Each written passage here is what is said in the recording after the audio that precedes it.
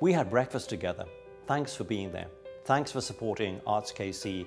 Thanks for supporting all of the arts organizations in our region. Thank you. Thank you so much for your support of Arts KC and local artists in investing in the artistic landscape of Kansas City.